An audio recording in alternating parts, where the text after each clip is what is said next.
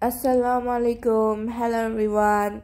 Today my Ammu is making a must try recipe that is prawn curry and you should try it. Like this is so delicious. You have to try it.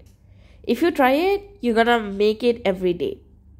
First, we are going to marinate the prawns by putting some turmeric and salt and then applying it nicely on the body of the prawn and then keep it aside. Cover it, then keep it aside.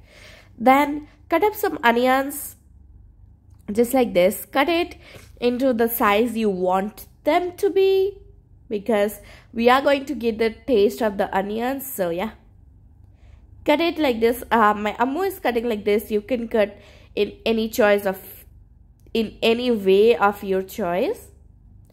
After cutting the onions, cut some chilies if you want.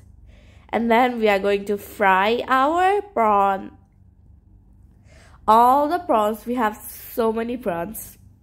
And then we are going to fry each and every one of them very nicely. Just like this.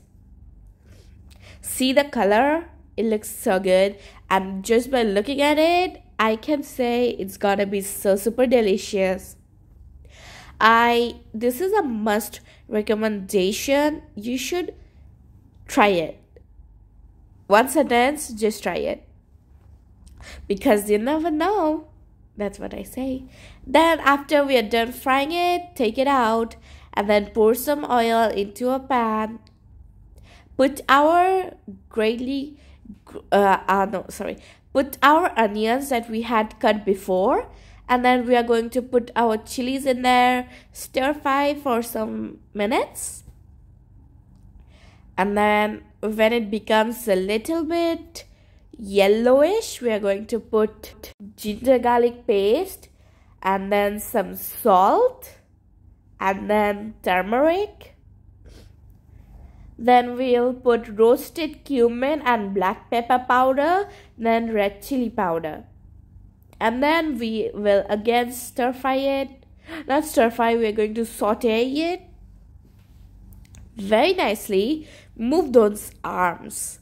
And then we are going to put some slices of tomatoes. And then after a few minutes of boil, pour some water inside it and then finally our delicious prawns. Then again saute it very nicely. Move those arms, exercise it. You know cooking is also exercise because you're moving your arms. And then we are going to add some milk coconut milk we used coconut milk. You can also use coconut milk. And finally a pinch of garam masala.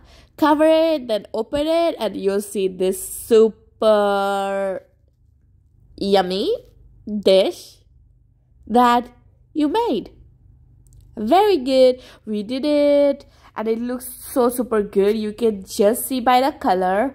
It looks so yummy and so delicious I hope you like it. Bye bye. Masalama.